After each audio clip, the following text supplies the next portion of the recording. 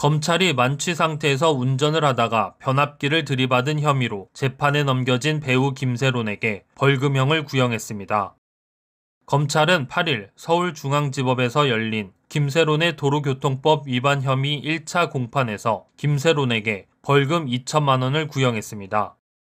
김세론 법정 대리인 측은 김세론이 공소 사실을 인정하고 깊이 반성하고 있다고 밝혔습니다.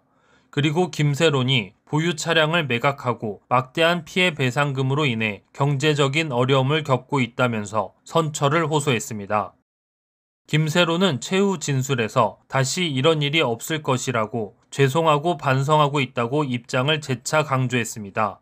재판을 마친 김세론은 취재진의 질문에 죄송하다면서 아르바이트를 하면서 지내고 있다고 답한 뒤 법원을 빠져나갔습니다.